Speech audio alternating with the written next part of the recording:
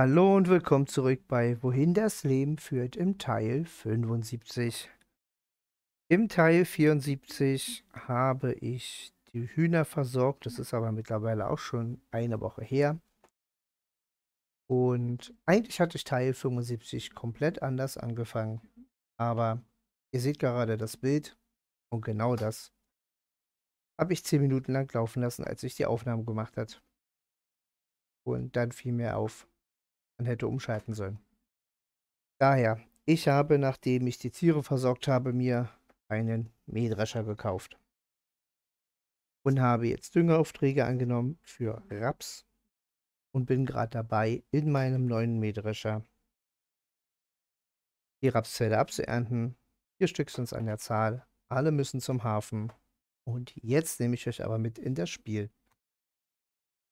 So, willkommen, da sind wir dann.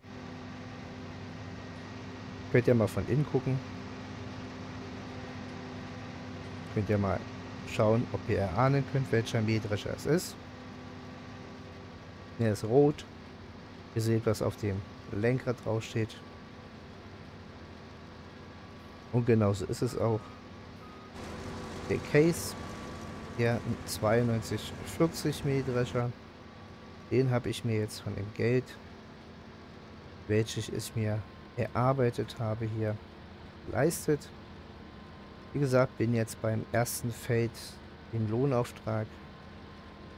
Wenn ich die vier Felder abgeerntet habe, habe ich von den 400, also knapp 510.000 Euro, die ich für den Mähdrescher und das Schneidwerk bezahlt habe, wieder 15.000 Euro verdient.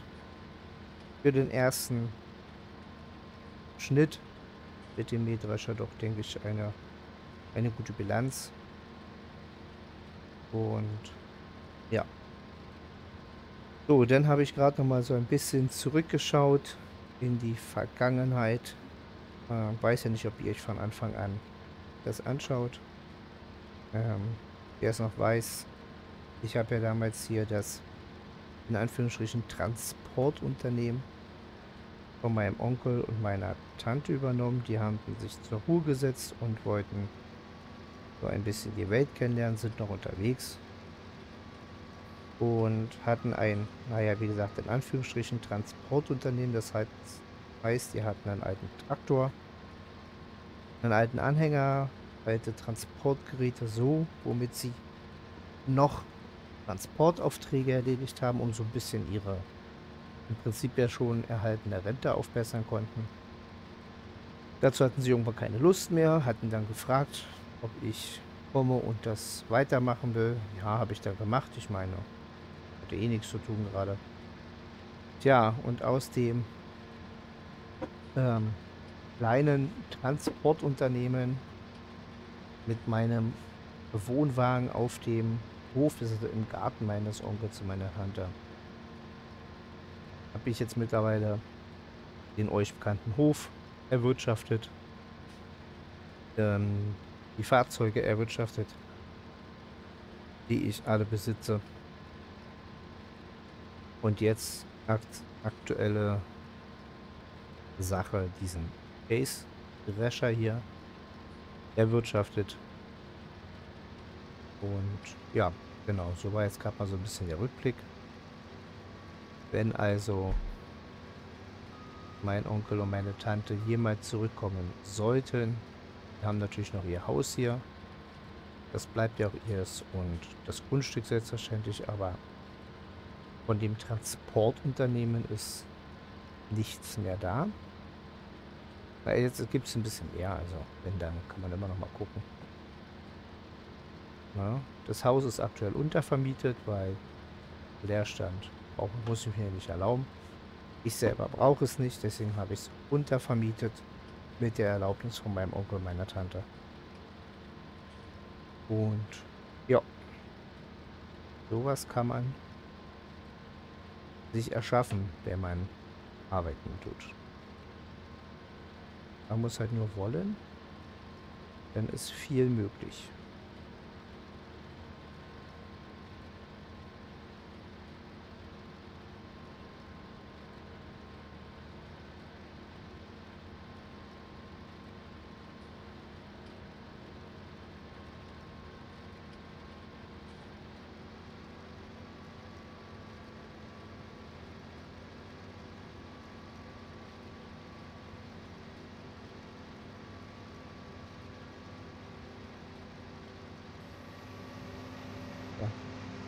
Muss doch hochgehen. So, aber falscher Knopf und dann geht das halt nicht. So, na das ist schon mal gut. Dann können wir doch gleich einmal den Drescher das erste Mal abtanken. Ah, ihr seht es jetzt natürlich nicht.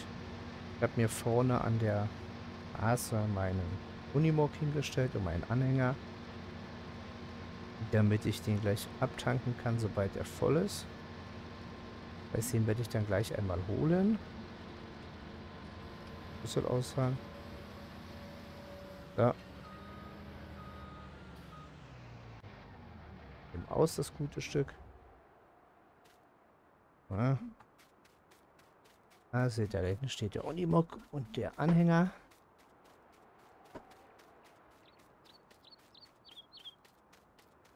Düsen wir da mal hin und fahren den einmal abtanken. Dann haben wir das erste Feld ja fast fertig. Und ja, dann können wir ja mal ganz in Ruhe aufs zweite Feld fahren. Das ist dann die Nummer 7, die liegt unmittelbar in der Nähe. Die dann schon mal abernten können.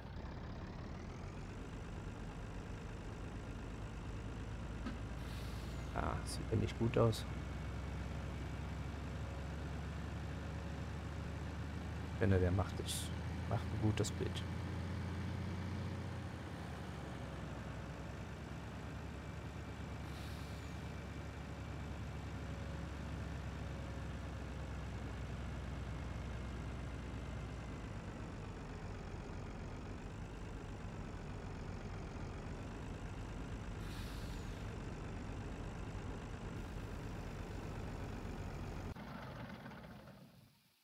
So, mal abtanken in Ruhe.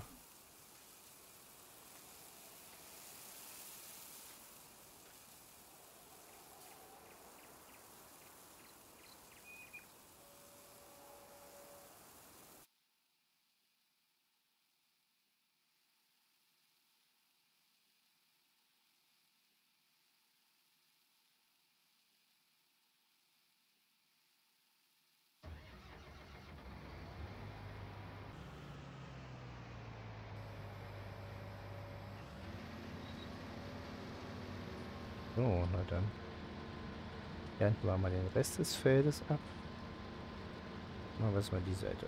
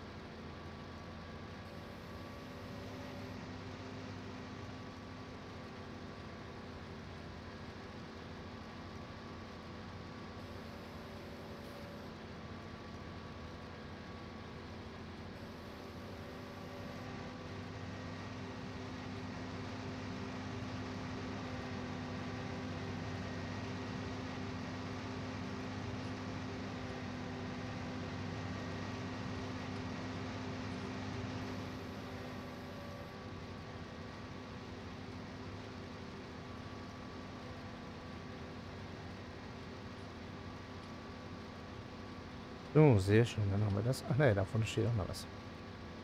Jetzt habe ich schon etwas Falsches gesagt, ja. So schnell kann es gehen.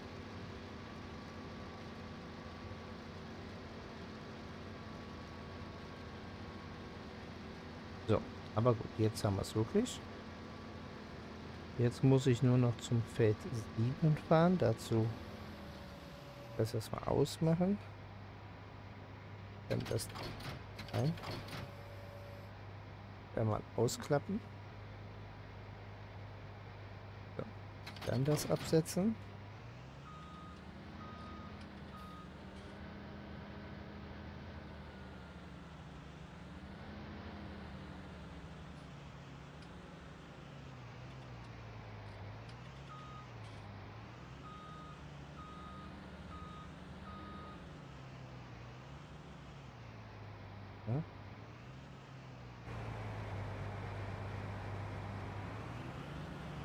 Ja gut, vorher daneben ist auch vorbei, ne? So. Dann fahren wir einmal zum Feld 7. Wie gesagt, das ist hier die, das Feld Nummer 4. Das Feld 7 ist etwas weiter höher. Und dann ernten wir das noch ab.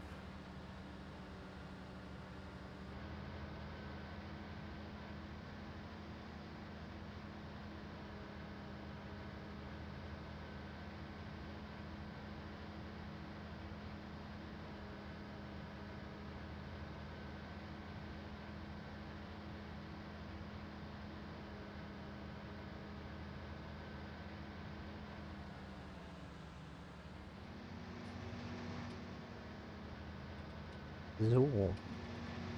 Dann haben wir hier neben uns nämlich Feld 6.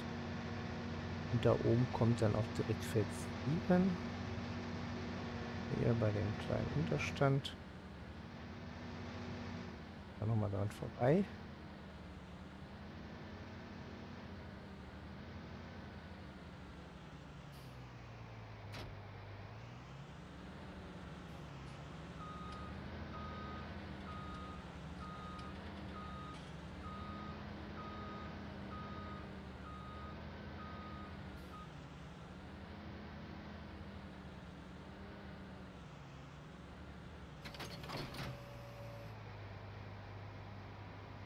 So.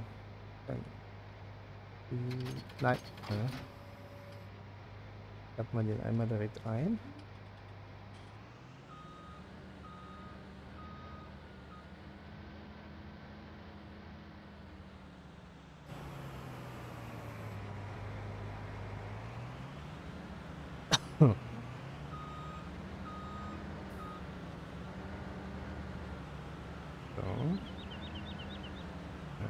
Ganz.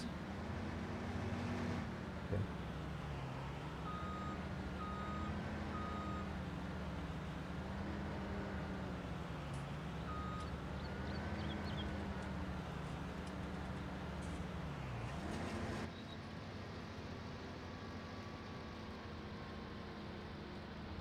Gut, dann sind wir jetzt, wie gesagt, auf Feld 7. Das ernten wir jetzt noch im zügigen Schritt ab. Das ist jetzt gar nicht so groß, das Feld. Dann können wir nochmal überladen und dann sind es noch zwei Felder, die mit Raps bestellt sind. Die werden dann natürlich auch noch abgeerntet.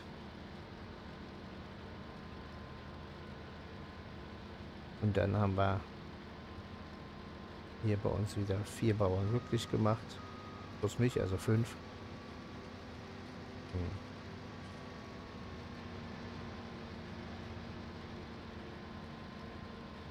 Und den Hafenmeister auch noch, der freut sich über die Masse. Also für alle eigentlich eine super Situation.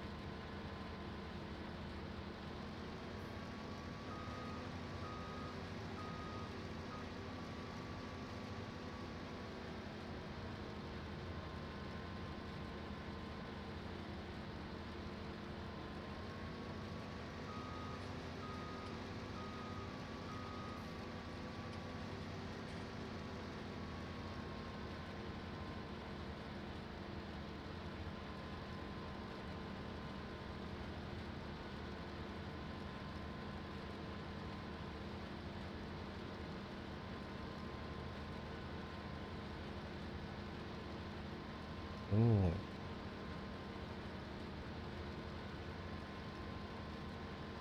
Also ich muss sagen, bin begeistert von dem Wäscher. Wenn es Füllvolumen von 14.000 Liter. Das ist ein super Füllvolumen. Die Schnittbreite finde ich super. Ähm, für unsere Felder eigentlich ganz gut, also für die Felder, die wir hier haben. Eigentlich ganz gut ausreichend. Ich denke, mehr kann immer. Äh, weniger wäre schlimmer. Insofern eigentlich alles perfekt.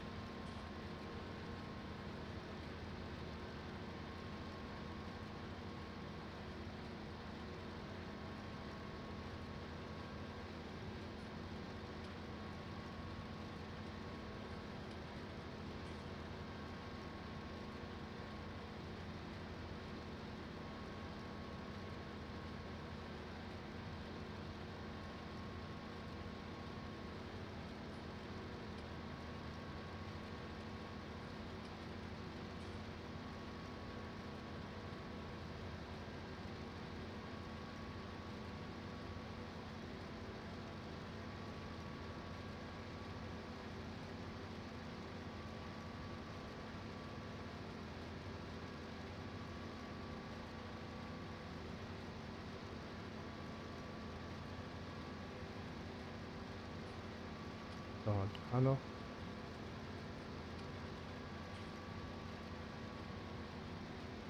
Perfekt.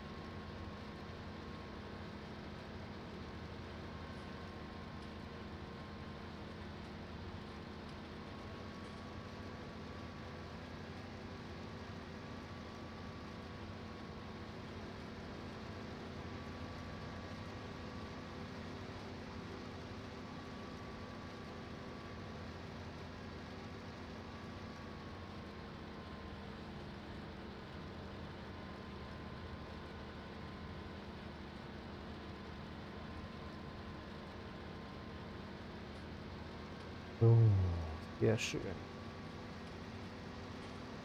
Na, dann hast du ja auch fast geschafft. Ein paar Stöppelchen hier noch.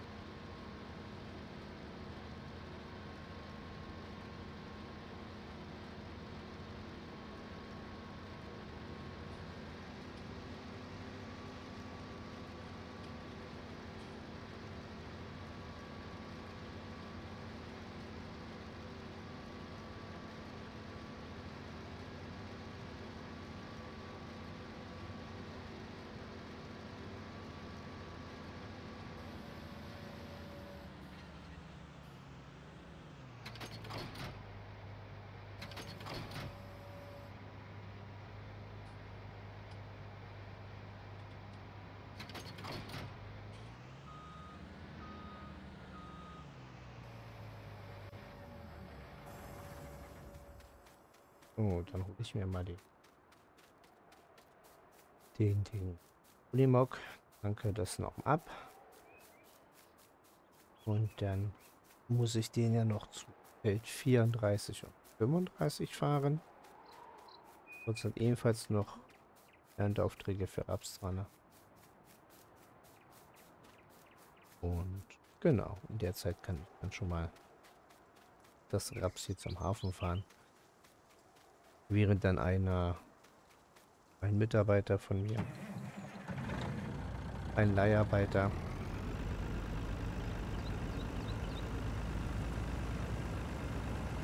wobei,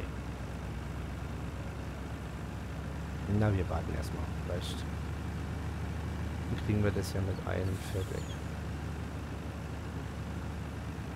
Sagen wir erstmal. Gucken wir mal weiter. Dann haben wir immer noch keine 50% erreicht.